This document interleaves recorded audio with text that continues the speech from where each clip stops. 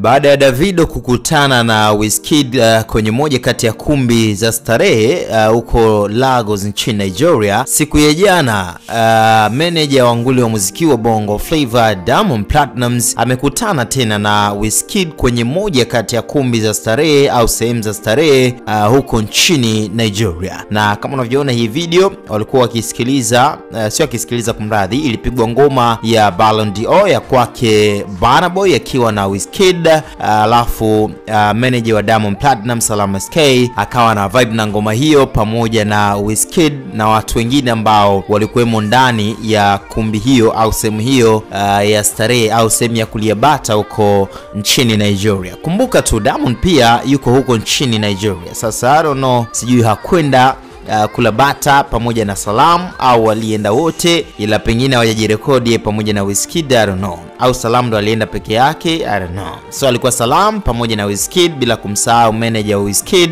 uh, Sunday pamoja na Femi. Tazama hapa bata lao.